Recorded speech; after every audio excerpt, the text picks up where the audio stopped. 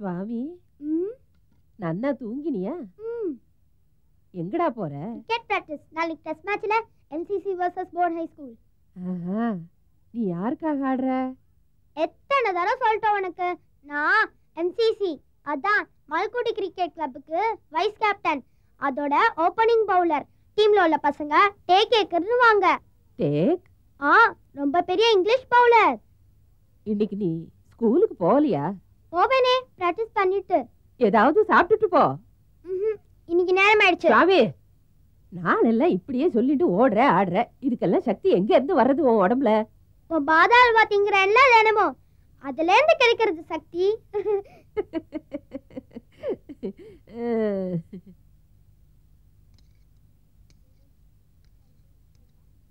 டேய் டேய் உட்காரு. இத சாப்பிட்டுட்டு போ. மணி கிரிக்கெட் ம், உட்காரு.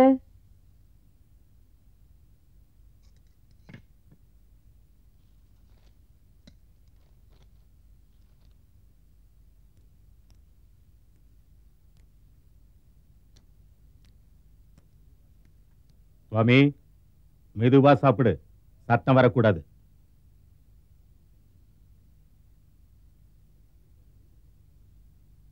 இந்த பத்திரிகையில் எழுதியிருக்கிறது கேளு An eight-year-old boy from MP Hills survived an attack by a man-eating tiger.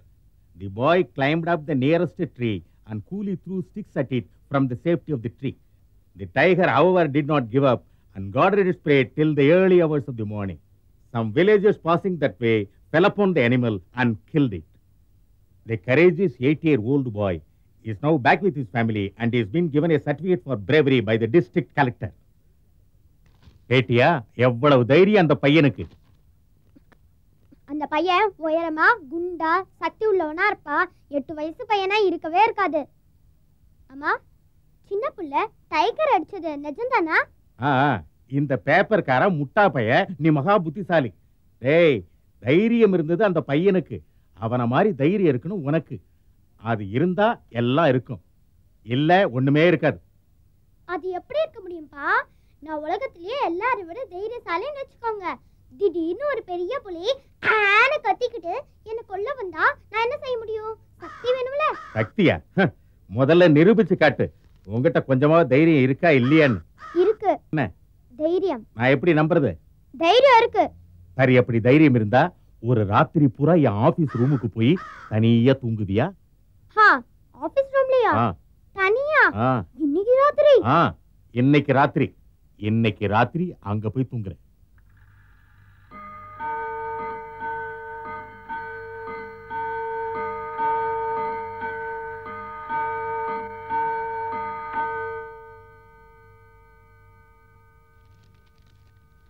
சுவாமி? இன்னுமா இங்க இருக்க? ஸ்கூலுக்கு போல? போவேன். அம்மா உன்கிட்ட சொன்னேனே. இப்போ எங்க கிரிக்கெட் கிளப்ல பெரிய பெரிய ஆட்டக்காரங்களையும் மெம்பர் ஆக்க போறாங்க. ஆமா எல்லாரும் சேர்ந்து ஆடுவோம். அப்பா எல்லாம் புதுசா வாங்க வேண்டியிருக்கு. பேட் பால் ஸ்டெம்ஸ் எல்லாம். கேப்டன் சொல்லியிருக்கான். உங்க அப்பா கிட்ட கேட்டு கொஞ்சம் பைசா. ஆ சரி சரி. அது அப்புறமா பாத்துக்கலாம் இந்த இடத்த நல்லா பாத்துக்கிட்டியா ம் இன்னையிலேந்து நீ படுத்துக்கிறது இங்கதான் தனியா. தூங்குறேப்பா இங்கே தூங்குறேன் சத்தியமா? அடுத்த மாசம் முதல் தேதியிலேருந்து இல்ல இன்னையிலிருந்து. புரிஞ்சுதா?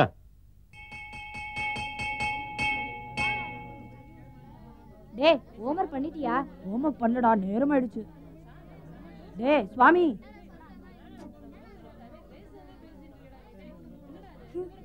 என்ன ஆச்சு சுவாமிக்கு?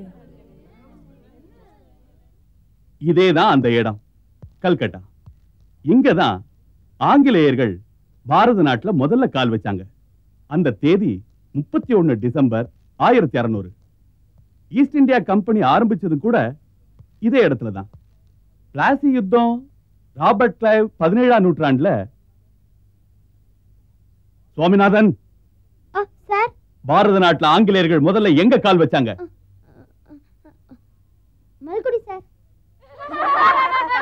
சத்தம் போடாதீங்க. சத்தம் போடாதீங்க. ஏறு பெஞ்ச் மேல. பெஞ்ச் மேல ஏறு நில்லு.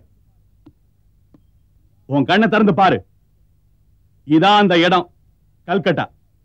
தெரிஞ்சதா? British British. British British.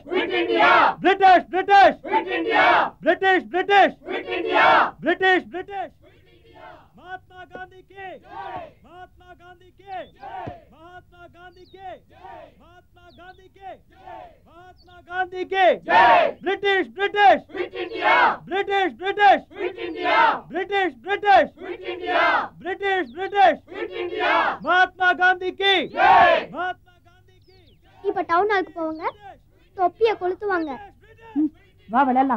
போடுறா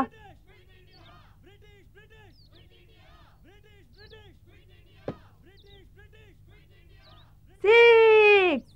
மணி தெரியுது நீ நிறைய சிக்ஸர் அடிக்கிறான்னு என்ன சும்மா ஓரத்துக்கு அங்க நிக்கிறோம். சரிதான்டா பால் எடுத்துட்டு வா.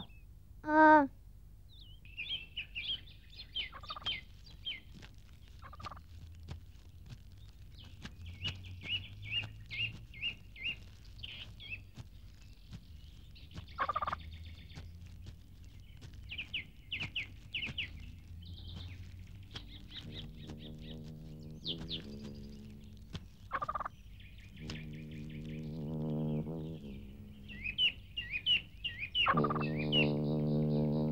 சீக்கிரம் வா சுவாமி சீக்கிரம் வா. அங்க பூதம் இருக்கு பூதம். பூதமா? இருக்கட்டும்.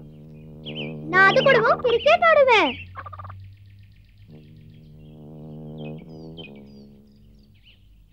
சுவாமி நான் ஒன்றும் விளையாட்டுக்கு சொல்லல.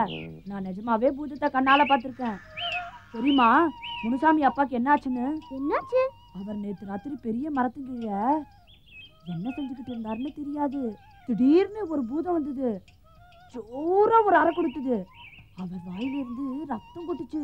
ரத்தம். ரத்தம்? ஐயோ எப்போ? நேத்து ராத்திரி ரெண்டரை மணிக்கு. அந்த பூதம் மட்டும் என்கிட்ட வந்திருந்தா உடனே இப்படி அடிச்சிருப்ப. மணி நேரம் ஆகுது. வீட்டுக்கு போலாம். வா வா.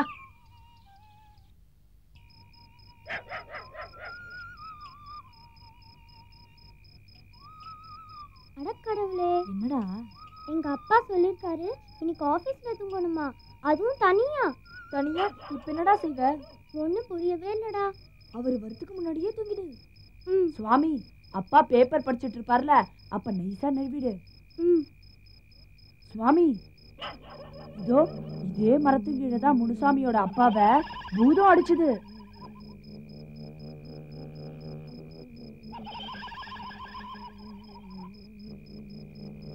சுவாமி வா உள்ள.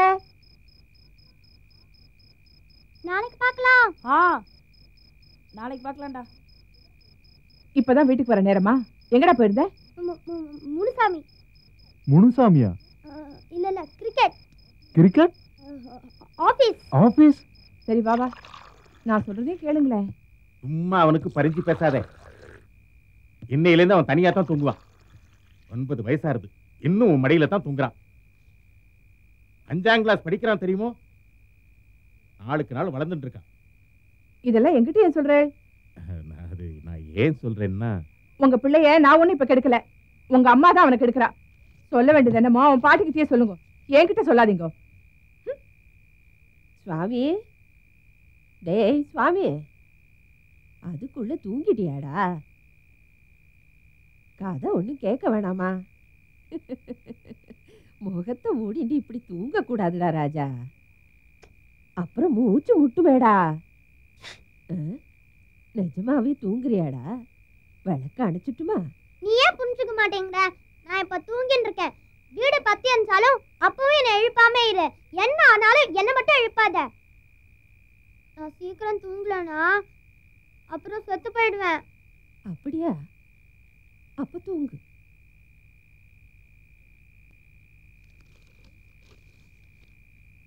எழுந்துருங்க சாப்பிட வாங்கோ. சுவாமி எங்கே? அவன் சாப்பிட்டாச்சு தூங்கிட்டு இருப்பான். தூங்கிட்டு இருப்பானா? அது எப்படி நான் தான் அவனை ச்சே, சுவாமி? ஏய் சுவாமி. சுவாமி எழுந்துரு. தூங்கட்டும்டா சீனு. அவனை ஏன் எழுப்புற? குழந்தை அசந்து தூங்குறான்டா. நான் அவனை இப்ப எழுப்புனேன்னா அதுல ஒரு அர்த்தம் இருக்குமா? ரொம்ப செல்லம் கொடுத்துட்டேன். அதான் கெட்டு போயிட்டான் வா. சீனு அவன் எங்கடா தூங்குவான் ஆபீஸ்ல.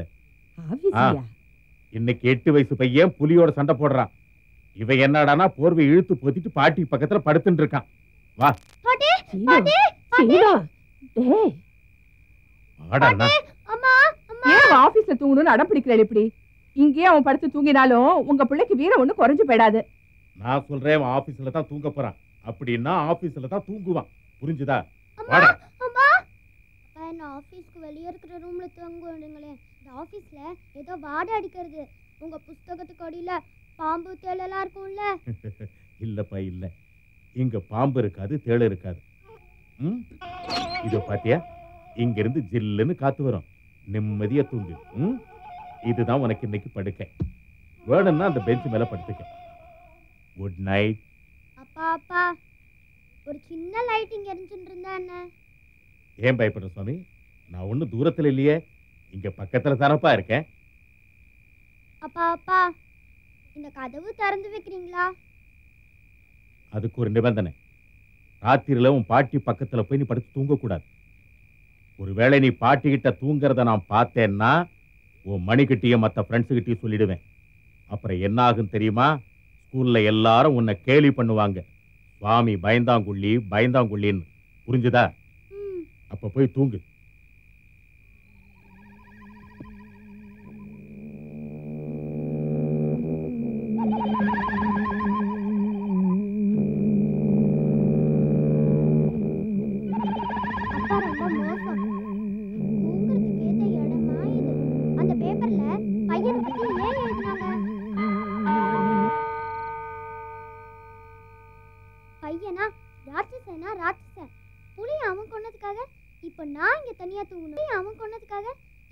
இங்க தனியா தூங்கணும்.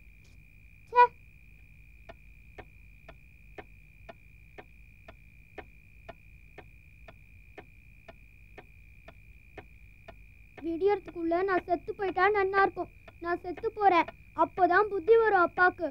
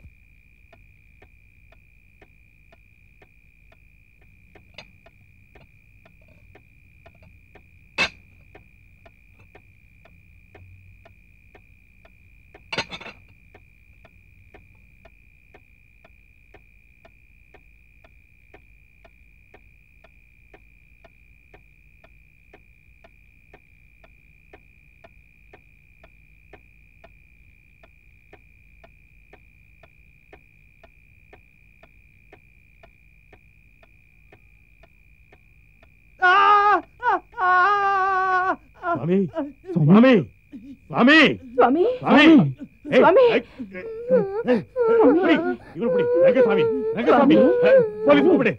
என்னப்பா? ஏய், ஏய், சுவாமி என்னாச்சுப்பா? உனக்கு ஒண்ணு ஆகலையே. அப்புறம் என்னாச்சு? எனக்கு தெரியாது. எனக்கு ஒன்றும் தெரியாது. ரொம்ப ஆச்சரியமா இருக்கு. ஸ்ரீனிவாசன் சார் என்னால் நம்பவே முடியல. இவ்வளவு சின்ன பையன் எவ்வளவு தைரியமா சமாளிச்சு இந்த திருடனை பிடிச்சிருக்கான். வாப்பா. சார் அது என்னாச்சுன்னா அது நான் தான் இவனை தூங்க சொன்னேன் ஆபீஸ் ரூம்ல ஜன்னலை திறந்து வச்சிருந்தேன். அதை பத்தி என்ன? இவன் தைரியசாலி நிரூபிச்சிட்டான். அதை பாராட்டணும். எங்களுக்கு இவன மாதிரி துணிச்சலான பிள்ளைங்க தான் வேணும். ஏன்பா போலீஸ் ஆபீசர் ஆகுறியா?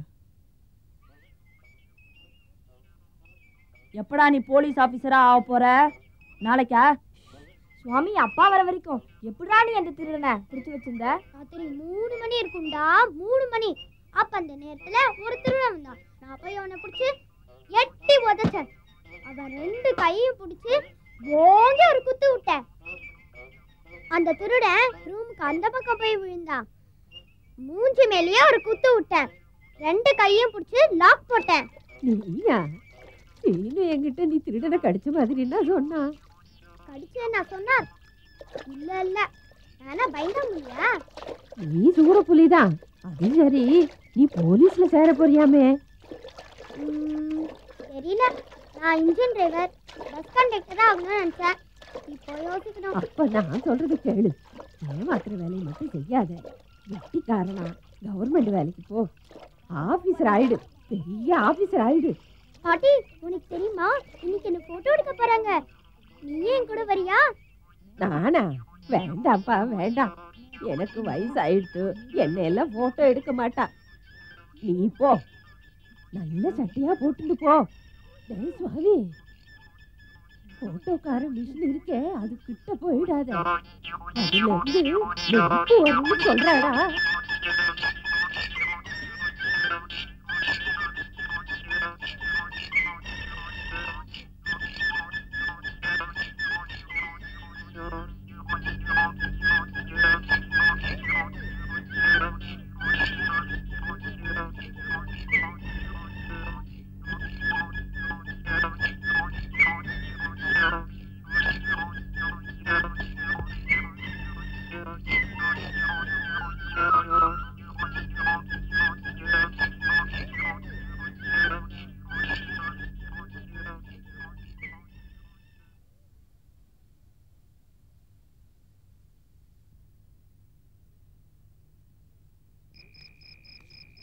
சுவாமி ஏய் சுவாமி சுவாமி எங்க? அவன் போட்டோ வந்திருக்கு மால்குடி டைம்ஸ்ல இங்க பார்க்கலாம் போட்டோ வந்திருக்கா? அழகா இருக்கான் சுவாமி? டேய் சுவாமி! ரொம்ப அழகா இருக்கான் இத பாத்தீங்களா ஏன் போட்டோ வரலையா? வரல. எங்க அவன்? தூங்கிட்டு இருக்கான். தூங்குறானா? அதுக்குள்ளேயா? ஆ இந்த வயசுல அவனை போல உள்ளவன் தூங்கினா தான் நல்லது. பைத்தியக்காரன். அந்த புள்ள நேத்து ராத்திரி பூரா தூங்கவே இல்லடா.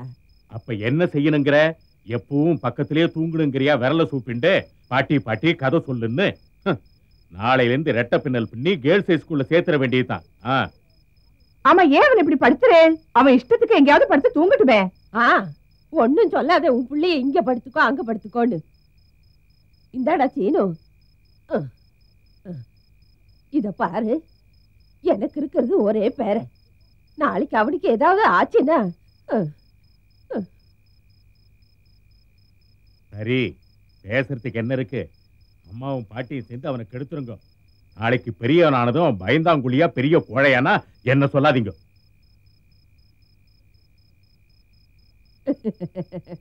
சுவாமி இன்னைக்கு நான் உனக்கு ஒரு புது கதை சொல்ல போறேன்.